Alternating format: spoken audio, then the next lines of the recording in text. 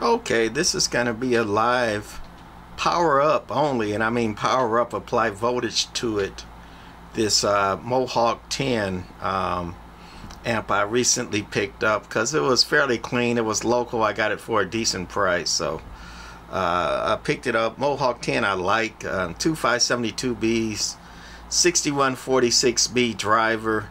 But uh, I'll do videos on it later, especially if I get it completely going. But this is how I do a live power up test. Um, when I initially got it, uh, you know, looked it over, went through it. I, you know, told you on the other video, uh, linear amplifier testing troubleshooting 101 or something like that, that, you know, one of the things I do is check the fuses. See if it has a fuse in it. See if it's overfused. See if somebody put uh, aluminum foil around the fuse.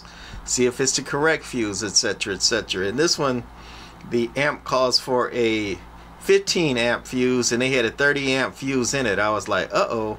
Um, other than that, this high voltage um, power supply board here um, looked like a big giant kludge. They had eight of the um, power supply bank or filter caps all wired in on top and they used these kind of uh, radial caps. So they had eight, all eight of them up top and they had I would say literally 20 jumpers jumping around, you know, to to wire in those caps. Um, so it was caps everywhere, jumpers everywhere, That's a big kludge. However, I did try to test that kludge, and it looked like it was actually hooked up right. Everything looked okay, and, and like I said, it had these newer caps in it, just like these brown ones here. Um, and that's what it calls for 450 volt 100 uh, uf caps.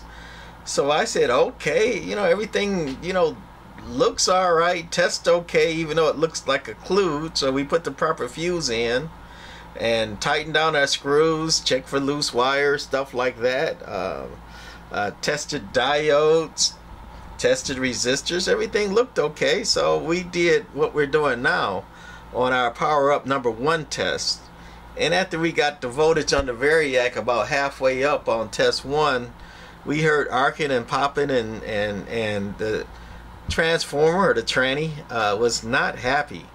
Um, so with that, we powered it down and we are like, well, we weren't going to leave that uh, power supply board like that anyway. So uh, we ordered these new caps that we put in. Um, these are 150 UF so we went up in the rating. These are um, high temperature, uh, low ESR caps. So they should run a little bit better and smoother than the um, regular 100 UL 450s anyway. Um, so we cut all the uh, kludge out and wired in these caps. It's four on top and four underneath. Uh, so it's eight caps just like before, but it's you know not a it's not the best looking ever, but it's not a kludge anymore, right? Um, check the bleeders, everything looked good. So we're gonna do another power up test. Now remember, it failed the first one. Uh, went to arcing and all that, and if you can see, this red wire is disconnected. That's on purpose. That's the high voltage out of this uh, power supply board that goes over to the tubes we disconnected that because um, we're kind of doing it one step at a time. We're actually two steps. Because, uh, you know, when you have a problem with it, I say, you know, first thing it might be is the tubes. If you uh, disconnect the tubes, you got a problem, it's probably the power supply board. You disconnect that and have a problem, probably the power transformer. Even though this transformer has uh, quite a few voltages going out, it's got the uh, high voltage uh, for the 572Bs about uh, 2800 3 kilovolts. Uh, dangerous so keep that in mind. Don't kill yourself. It also has uh, about a thousand volts DC on a 6146 driver tube. That's over here. That's the socket for that. And it uses a negative 100 volts of bias somewhere around there and it uses that to run the uh, bias uh, which is regulated, and they use negative voltage for the uh, transistorized keying circuit.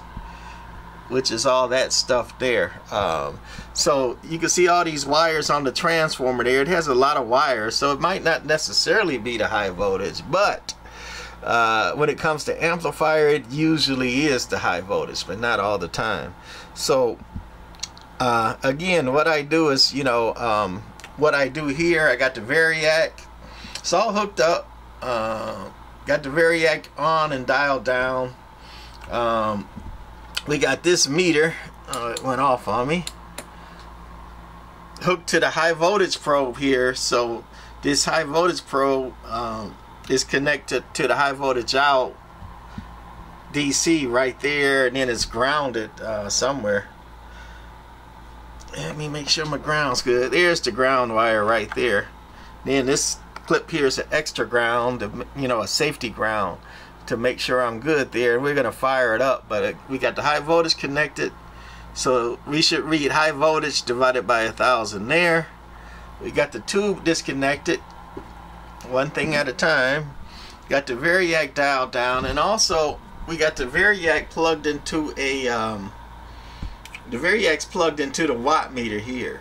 So this will read the watts that the amp and the Variac is pulling. Uh, I used to have this connected to the um, amp directly and then this plugged into the Variac but this thing wouldn't power up until it hits around 40 50 volts and I wanted to see my watts before it did that so I moved this and now I plug the Variac right into this. Even though it's going to read what the Variac is pulling and what the amp is pulling um, the Variac is just going to pull a little bit more so my watts are going to be a little bit higher. But since there's no draw with the tubes not hooked up and all that it should not pull a whole lot of watts. You know it's going to pull some for the filament and some for the fan and and some because of loss you know in the transformer and all that but it shouldn't pull a ton of watts. So we look at all that got it hooked up and this is actually how I um, power test an amplifier like this right? So I guess that's enough talking. We're gonna start dialing it up. See if I can hold the camera in one hand. Let's look at the uh, voltage there. And we're gonna start dialing. And remember these volts here DC volts are times a thousand. So 0.2 times a thousand is actually uh, 200 volts etc. That's 300 volts. We're dialing up the Variac. That's about 25 volts on the Variac. About 600 volts DC here. And also we're looking at my watts. 11 watts is good. Not a whole lot of watts. They are being pulled so real real good. You know everything's looking good. So we're to dial up the Variac a little bit more keeping an eye on everything. We're gonna dial it up to 50 on the uh. So we're at 50. We're almost halfway to the 110, 120. 1.1 volts times a thousand. That's 1100 volts. 50 on the Variac. 29 watts. Not a whole lot of watts. If this thing had a short in it, it would show it by now. I'd be pulling um you know, two, three, five hundred watts if it had a short at this point. And over here we got the voltmeter, the internal voltmeter on the uh, Mohawk. Um, and it's reading about 600, looks like about 500. Can't see the scale that well. But that's going, fans starting to go. Everything looking good, no sparks, no arcs, no pow. So we're gonna slowly dial it up a little bit more. Vote still going up. Trying to get the glare out the way. No arcs, no part, no no farts. All right, now we're up to 75 volts. 1.6 kilovolts. Fan starting to run at 75. 55 watts, which is hardly anything. Remember the filaments are, you know, going, the fan's going. So it's going to pull a little bit of watts. In the transformer losses is going to be some watts too, right? And the Variac is uh, in line. So that's good. Everything good. 55 watts, no pops, no arcs, no kapows. Don't have to cancel Christmas yet.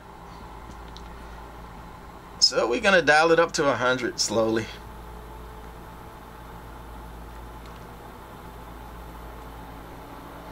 Capacitors like it when you dial up the voltage anyway. That's basically what a soft start or a slow start is. It's just it puts lower voltage on the capacitors until they get a little bit of charge and then it uh, applies full power.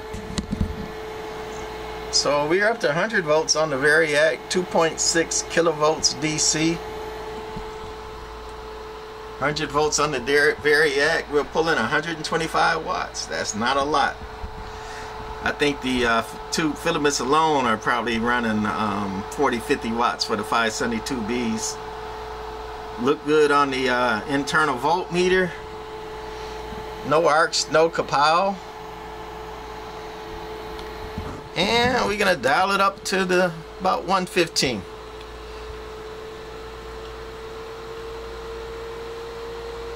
Right there on the very Variac. 180 watts sounds about right. Not a lot. 180 watts is only like 1.3 or so amps. Not a lot. 3.1 kilovolts.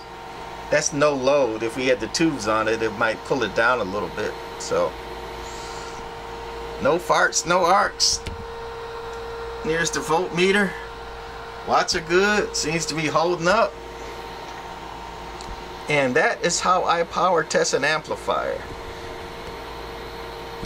Now, next, after we power it down, make sure it's completely drained safely and all that, you know, unplugged for safety, we will plug in the tubes and then we'll go through this cycle again. And if it uh, starts acting up after we plug in the tubes, we know something out past the high voltage board is bad. Either the tubes, maybe the blocking capacitor, or shorting the plate choke, but it's something on the other side, output of that high voltage wire. But normally it's the tubes if it starts acting up once I put that high voltage on the tubes. Alright, that's it for this one. More to come, you know, especially once I get it going, we'll do a, a better video on this. Bye.